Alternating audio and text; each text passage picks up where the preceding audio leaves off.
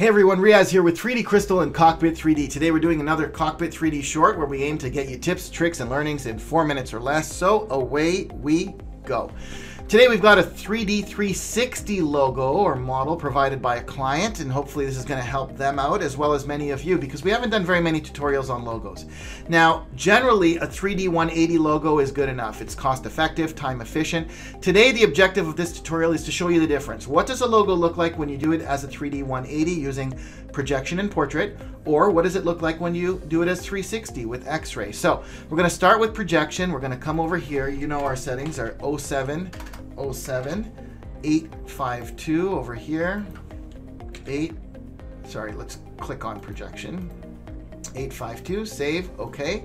Click on go.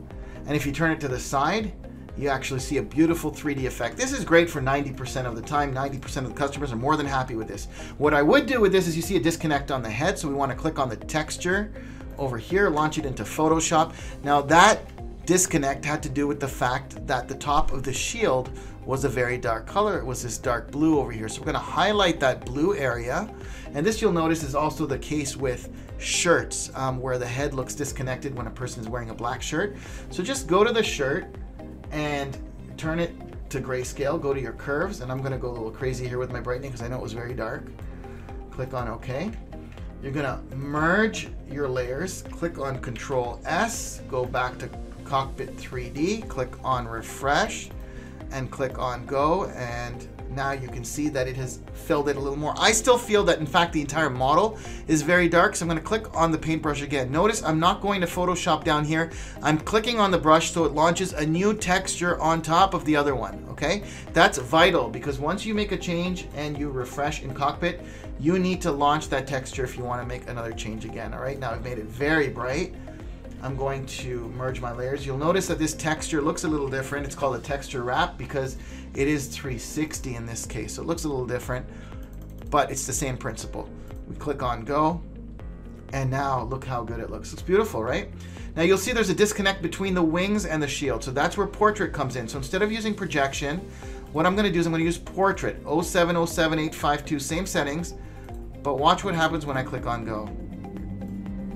See, it fills it up over here and over here. So again, this is great. This is what the letters look like. It's good to go. Now, if we want to do 360, and if you've arranged with the artist to model 360, well, in that case, you can come over here. You're going to change it to X-ray.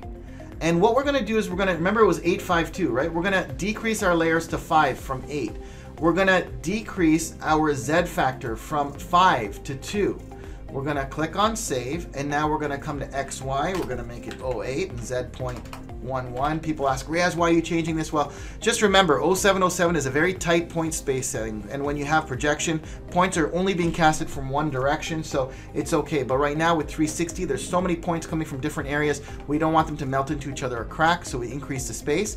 Click on go, and now you have, or you should have, a 360 model. There you go. See, it's all the way around. You can see it filled all the way around. So again, when is 360, and take a look at the letters by the way, they look quite solid, right? The arrows, everything looks fantastic. So when do you use 360? Well, look, in most cases, again, 3D 180 is good enough.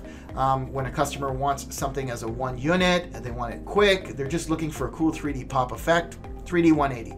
If you have a client that's quite specific about wanting the full model in 360, being able to see it from underneath or from the back, and perhaps uh, having the budget because they know that they're going to order many pieces of the same logo.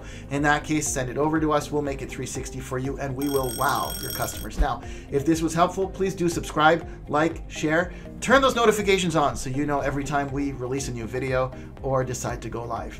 Thank you for watching.